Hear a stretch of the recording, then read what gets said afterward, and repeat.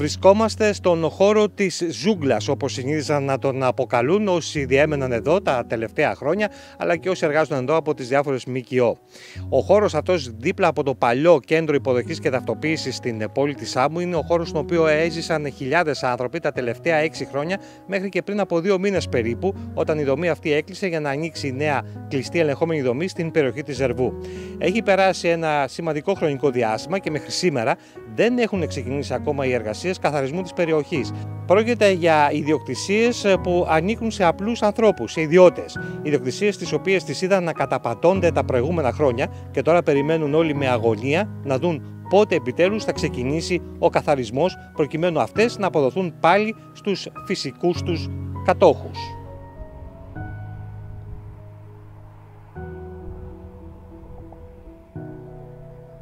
Στο προηγούμενο Δημοτικό Συμβούλιο αποφασίστηκε να γίνει ένα μνημόνιο συνεργασίας ανάμεσα στο Δήμο Ανατολικής Σάμου, στο Υπουργείο Μετανάστευσης και στο Πανεπιστημίο Αιγαίου, έτσι ώστε να δούμε το πώς μπορεί να γίνει η αποκομιδή όλο αυτό το, το σκουπιδιών από το συγκεκριμένο χώρο και εξωτερικά του ΚΙΤ και εσωτερικά.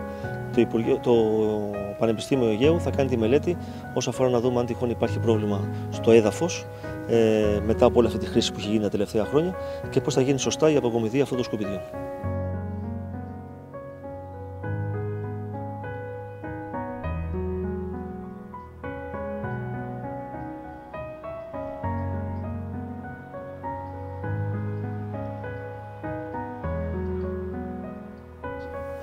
Μπορείτε να δείτε ότι οι κατασκευές αυτές, τις οποίες είχαν οι μετανάστες προκειμένου να μένουν, είναι φτιαγμένες από νάιλον, είναι φτιαγμένες από τσίγκο, όπως μπορείτε να δείτε εδώ και σε αυτήν εδώ την κατασκευή.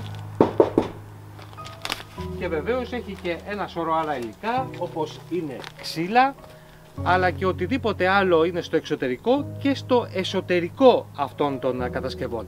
Πάμε λοιπόν μαζί να δούμε τι συναντά κανείς συνήθως μέσα σε αυτά τα παραπήγματα.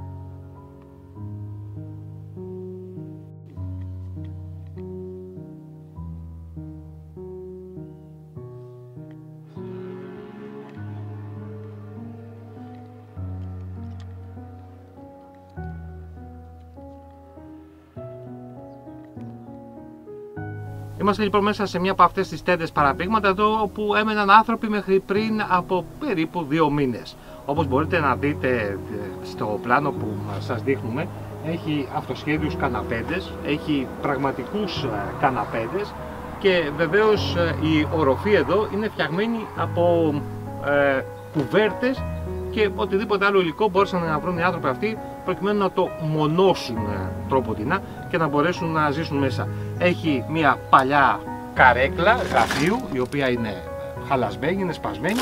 Έχει διάφορα σκουπίδια μέσα ε, στο έδαφος, ένα παλιό ε, ε, κάθισμα από καρότσι παιδικό, μια παλιά ξύλινη πολυθρόνα και πολλά μπουκάλια πλαστικά και άλλα πράγματα πλαστικά τα οποία θα πρέπει να απομακρυνθούν. Σε πολλές δε περιπτώσεις μέσα στις ε, σκηνές αυτές θα βρούμε ακόμη και γκαζάκια αλλά και ηλεκτρικά, ηλεκτρονικά είδη τα οποία ενδεχομένως να μην δουλεύουν αλλά σίγουρα τα έχουν παρατήσει οι πρώην ένοικοι των παραπηγμάτων αυτών.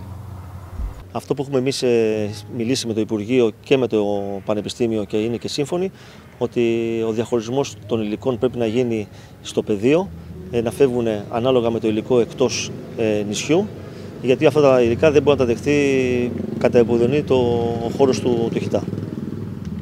Το τι ακριβώς πρόκειται να σχεδιαστεί και να εφαρμοστεί στη συγκεκριμένη περιοχή, προκειμένου αυτή επιτέλου να καθαρίσει, αναμένεται να συζητηθεί σε προσεχή συνεδρίαση του Δημοτικού Συμβουλίου Ανατολικής Σάμου. Σε μια συνεδρίαση, στην οποία αναμένεται μάλιστα σύμφωνα με δημοσιογραφικές πληροφορίες να παραστεί και ο Υπουργός Μετανάστευσης και Ασύλου, κ. Νότης Μηταράκης.